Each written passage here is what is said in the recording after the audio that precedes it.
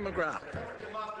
Gormahagot, uh, um, vote of confidence in the Taoiseach, and he put it down on himself and his own party did. I wish we were talking about the real issues here and the real problems. But look, he was fair enough to put it down on himself. He believes himself. I listened to the rant of some of the ministers. They believe in it too. But I want to say you're about the only, you're about the only people, you're about the only people that have confidence in yourself. And you're in a cocoon in here, if you think. And you'll see, and I'm out for protest, protest, protest. You'll see when you go and meet the people. You can't go into your constituencies. You can't go and turn aside when there is good news, and I welcome the good news that has come because people are protesting, because you have, uh, they've given you the finest mandate that anyone ever got, Taoiseach.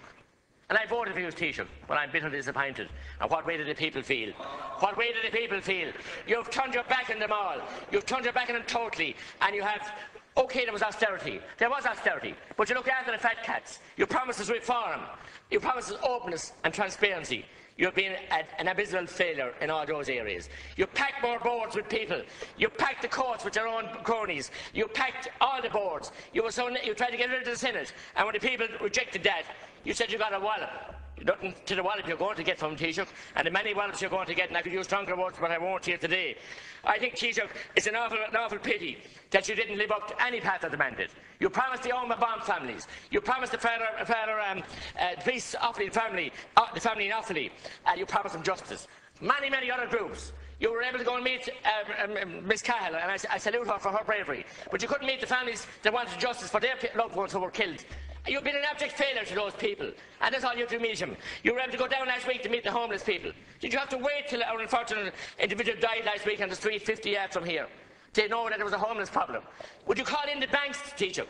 Would you raid in Nama, Taoiseach, who are making people homeless, who are terrorising a widow woman in my own county, where her own late husband had to end his own life, and now Nama, and I ask you to call off the hound dogs of Nama and the officials, and to stop them terrorising that family in a decent family in County Tipperary, of whom you'll be aware of and you should know, and your, your, Minister Hayes knows, and other people know. It's a shame and disgrace the way the people have been making sacrifices here. We all bailed out the banks, and I was one who voted for the biggest mistake I ever made in my life, and now what are they doing? They're piddling and walking down on top of us all with great sanction for yourself and the minister there and letting them off with a prom and patting them on the back. There's 100,000 people awaiting eviction. You talking about the homeless that are here? Try and sort out that problem by calling off the hound dogs of the banks revenue. And as I said, NAMA, the biggest and most dangerous, and I could use a word, I won't use it here, but it starts with a C, organisation of all. And it's a merry-go-round that are identifying properties. They won't sell them for the price they're getting from decent people who want to buy them. They're keeping them for their friends and contacts to sell them at knockdown price. It stinks and rotten to the core. And what they're doing to ordinary families is disgusting, Taoiseach. And I'm very disappointed about that. I had Minister Varadkar here, and just to show how confused you are as a government, he said you were the, the, the captain that could uh, steady the ship on the ocean. Does he not know captain flies an airline and it's normally a, it's at the, the, the, captain is normally on a plane and it, it's, a, it's a ship is navigated by somebody other. But neither us nor the people have any confidence you to navigate the ship of state, Taoiseach, anywhere anymore because you've lost all credibility and all respect. And I heard Minister, um, uh, former Minister for Health then, talking about he didn't help. He destroyed the health service. We have people now waiting three months to get into fair deal, something we all bought into and passed and persuaded people to buy into it when there were people waiting that into time. I heard a man today on radio, a woman on today about her father 103 years of age, been talked out of a long stay home and been told to go someplace else because he can't keep him. You taxed the hearse in the last, second last budget. I said you taxed the shroud, and I know how you didn't do this budget, but you're doing it every day of the week because you took away the death grant. And you're also taxing medical card holders now who spend any more than 30, 25 days in a consecutive year 30 days in a consecutive year in a hospital, of any type of hospital, are charged, no matter what their income is, they're charged in so much a day. How low can you go?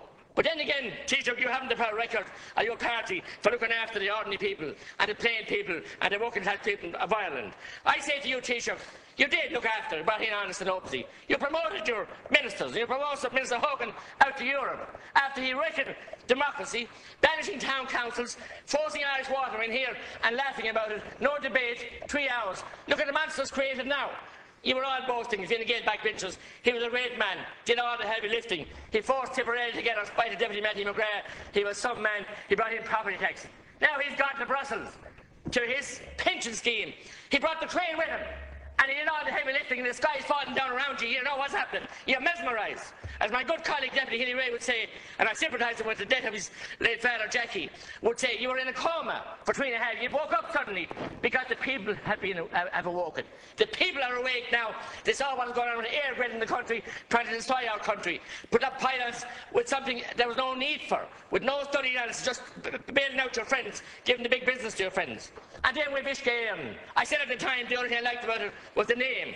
I liked the Changa and the cúpla focal Gaeilge. Other than that, it's a monstrosity that's hanging around your neck, and you have mess after mess after mess. Minister Kelly, my own fellow Tipperary man, he put out his chest he's like John F. Kennedy. His legacy is going to be. Well, I tell you what his legacy is going to be. He'll be up to his officers in water and something else before he knows it.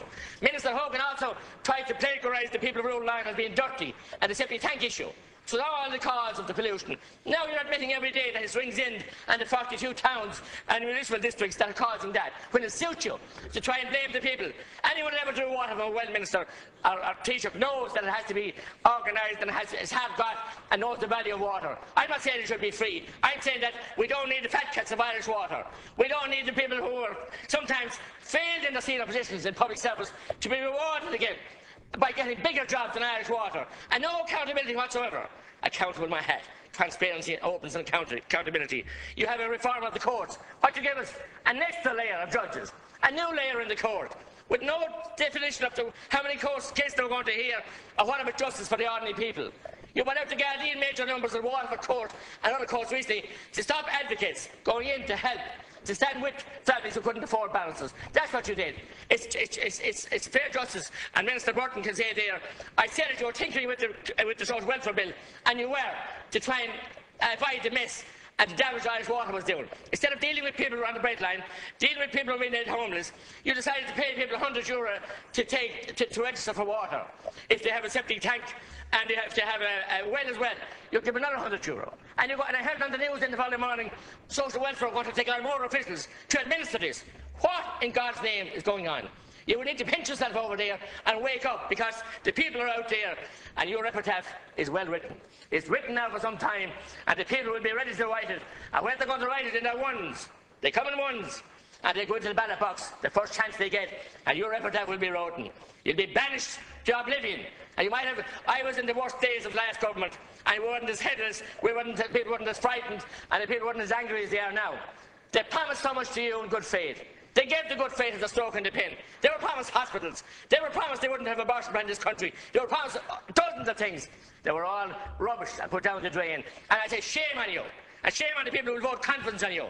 As I said, we should, we should be debating many other aspects here this evening.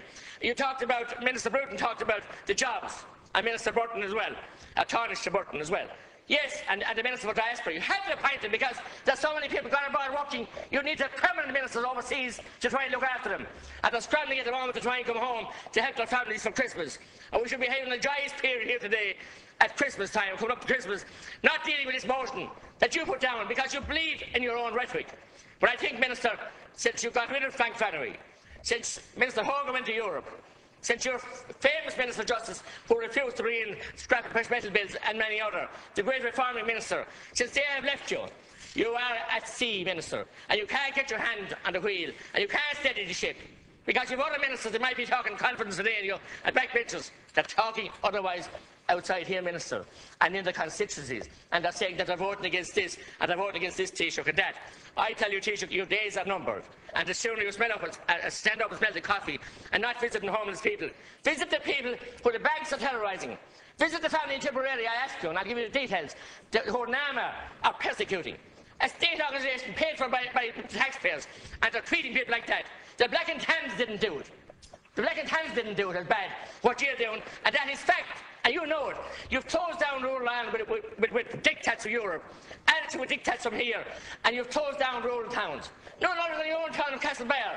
I was there recently. You should be ashamed to say you're representative minister. I know the people there, many of them are of the same. We saw the difficulty your, your brother got into during the local election. Rural Ireland, rural towns are stifled with bureaucracy. They're stifled with the banks who want in the shilling to anyone, only getting the bank, the bank, the bank uh, levels right. And I say to you, Taoiseach, you have some nick to place a motion of confidence in yourself because you can't have confidence. I ask you, look in the mirror. See the failure you've been. See the Omagh bomb victims. I see the other people who you promised Thank to you. give, give Thank justice you. to. Thank And how you. you failed them miserably and disgracefully. Margaret.